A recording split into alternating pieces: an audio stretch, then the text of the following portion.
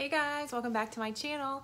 I'm freshly back from a couple different vacations, which is why I'm looking awfully freckly and my hair is looking lighter and I had to draw on all my eyebrows today because they're completely bleached blonde at this point. Um, and I'm so excited to be back. I had a wonderful time with my family and a couple of different things came up while I was on vacation that I really wanted to talk to you guys about. And now that I'm back, hopefully I will get back to my normal schedule of doing videos once or twice a week. I have some really great stuff planned so definitely stay tuned. Hopefully I'll be posting two videos today. We shall see.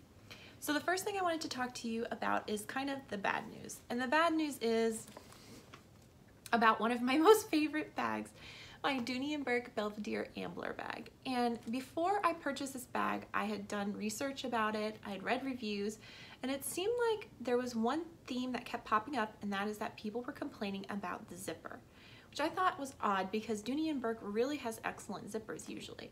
And I'm starting to find out for myself what the issue is. And it's not the functionality of the zipper. It is the appearance of it over time.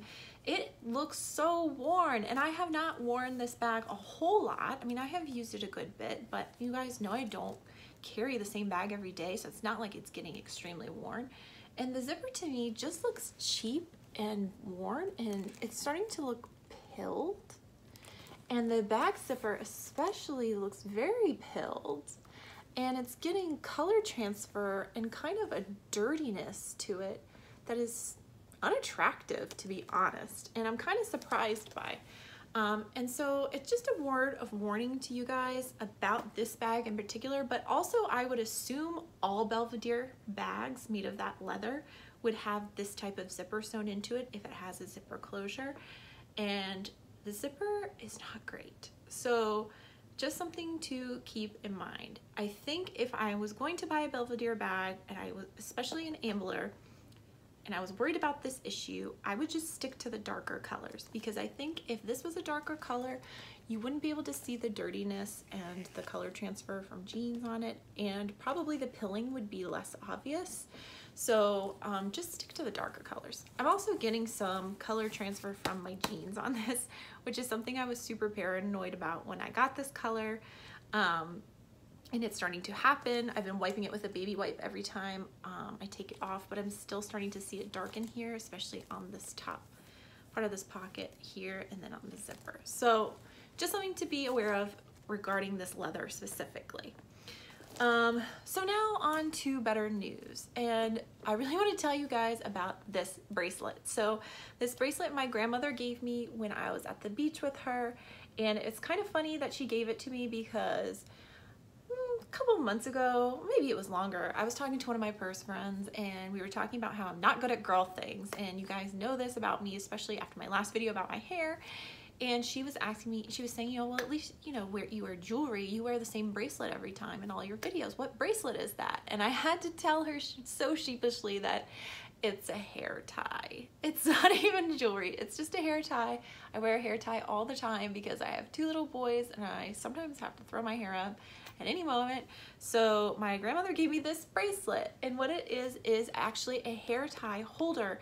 So it makes your hair tie not only look nicer, it looks like a piece of jewelry, but also keeps it from cutting into your arm, which is another problem that I have all the time. Even when I take my hair tie off, I just have this like brand in my arm um, from where it's like stuck on to me over, over time. So this is by the company Ella it's called My Hair Tie Bracelet. You can find them on Amazon. I will link the um, link for Amazon for this down below and they have silver gold and this is the rose gold. And so how it works is it's basically a bracelet with a channel and you slip it on and then you can put, it comes with three black hair ties, but you can use any hair ties. And you just kind of place it inside the channel, line it up, and there you go. Looks like a nice piece of jewelry. So I think this thing is awesome and I've been wearing it nonstop ever since.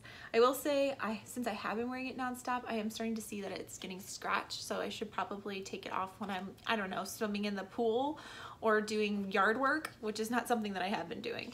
Um, so that's what it is, Ella, my hair tie bracelet. So the last thing I wanted to tell you guys about, and I'm a little bit late to the party on this because I was on vacation when they came out, is Dooney and Bourke has a new satchel and it's made out of Raleigh leather, which we all know is a durable pebbled, pebbled leather that they have gorgeous colors in. And I'm super excited about this satchel because they finally got it right. They paired durable leather with bright colors. They put the leather duck patch on the front of it instead of the metal.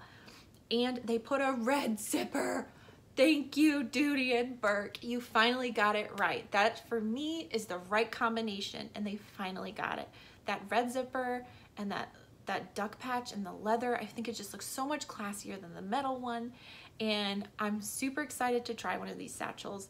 I'm just waiting to see if they're gonna hit the outlets because I know some of the other Raleigh bags did hit the outlets, and I want to wait to see if I can get one at an outlet price rather than paying the I Love Dooney price. I will link the I Love Dooney um, listings for those satchels below in the description box if you guys want to go check them out. If you haven't seen them yet, definitely check them out. I think they're going to be popular and I'm super proud of Peter for doing this for us finally. He finally got it. All right, guys, I've missed you all, so thank you so much for tuning back in, and I will be back shortly with a lot of exciting videos. Um, if you like this video, give it a thumbs up and please put any suggestions you have for videos or ideas in um, the comment section below. I love reading those.